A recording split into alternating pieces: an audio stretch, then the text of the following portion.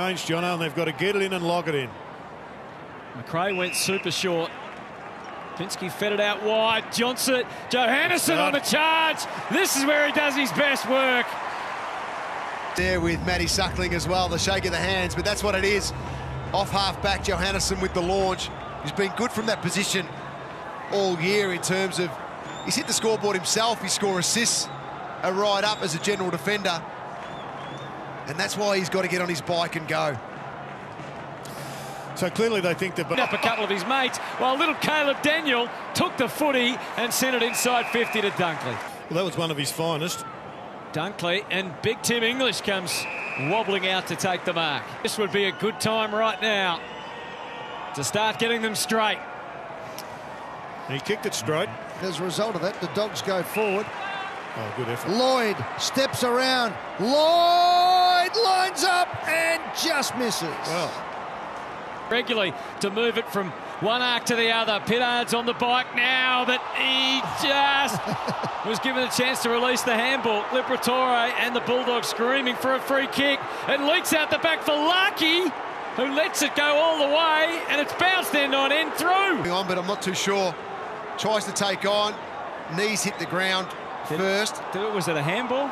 Well, it's normally the indication if you take on and your knees hit the ground, you're done. You're gone that stage. was it touched? And we'll look here.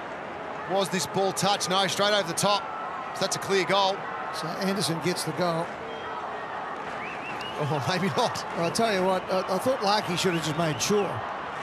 It might be Yeah, I agree back. with you, Ed. Larkey should have just got the toe to it from that contest. Yeah. Only ended up with Jamonda, then Cunnington, and then Ziebell, and finally Atley. Numbers congregate. There's lots of marking targets there. And which way's the free going? To North. North Melbourne. He'll get there eventually. Oh, oh just stuttered a bit. To the races. Zurhaar's there over the top Uniacke. in the goal square. Jared called it 10 minutes before it happened. And Davies Uniacke goes back from the forward pocket now. Is he the bloke to have the kick?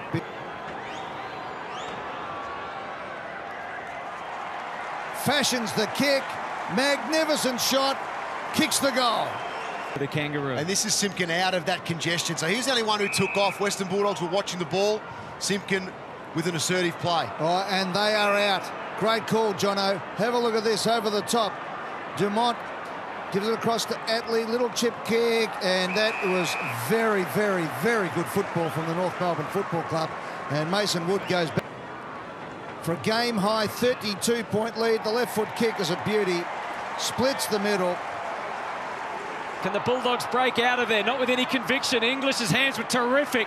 Norton gave one more. Lipinski been in a lot today, and that's one of his best bits of play as he identified what was on offer. And Johannisen gives a gift to Bailey Smith. Now he chips it over the top. Liberatore, here's Hunter. He can really go for home. No, he goes short with the kick. Out the back of the pack. Dunkley has three to beat. Four. Gets the handball. It was a good one too. Inside. McLean, did he duck his head? Umpire said play on Liberatore! Yes! Yes! Gets the goal to keep this game alive! This was in that third term, beaten though by Johannisen. Back for Bonton to Pally to decide where to go next. It's Dunkley short to English. It's measured beautifully. And English takes the grab. So this is one that they need to address and get a few more clear, few more turnover goals as well. To make it three in a row, the big ruckman. Oh. Perfect English. Back to 14 points. Another, and we are back to a 14-point ball game with a half, a quarter of football to go here. Half an hour of football yet to play, and Bontempelli announces himself to Marvel Stadium, and so does English oh, That is magnificent midfield work. for two in a row, two in a minute. English comes in and kicks the goal. Doggies have kicked the last four.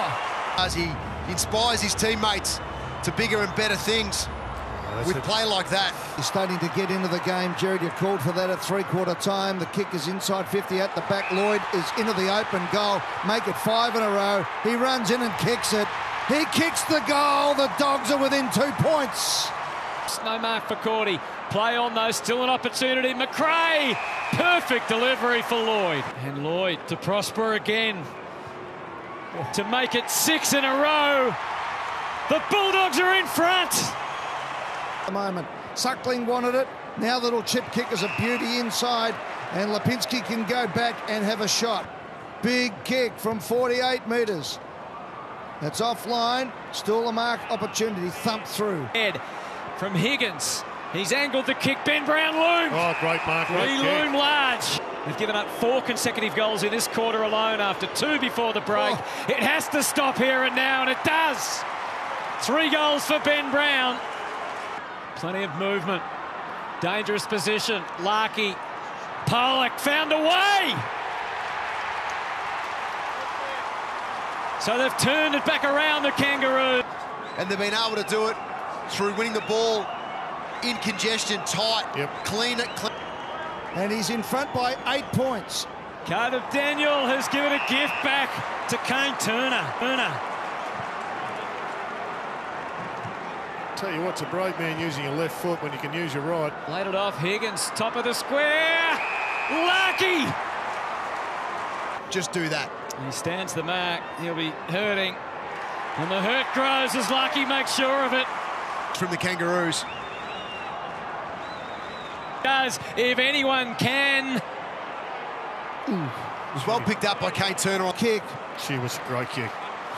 Didn't Oh. quite get it, Dale. Right, McDonald over the top. This could be the game. Larkey from 40 and puts it through. Brad Scott's last game. led by this man here, the captain. Not on the stat sheet, but he's been great. All right, Davies Uniacke back on. Higgins, how fitting it would be for him to set up the goal that ends the game. We'll speak to Brad Scott after the game. Of course, the media conference tomorrow with the President Ben Buckley. But to wrap this up in a nice bow, Thomas comes in and puts it right through the middle for his second.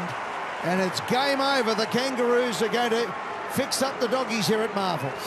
Yeah, quite symbolic. That Tam- Tarryn Thomas uh, kicks that goal. There's uh, one minute and 28 seconds to go before a new Surged late to really finish off the Bulldogs here in style. And this man, Shaun Higgins, has been pivotal to it all. He drives into the pocket. Ziebell takes the mark.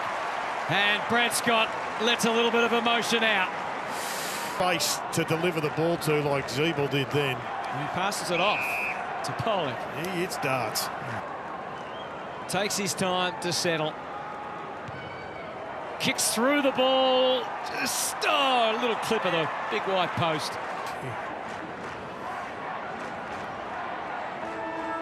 There's the siren. And there's Brad Scott. It finishes for him now. His last moments as the coach of the Kangaroos.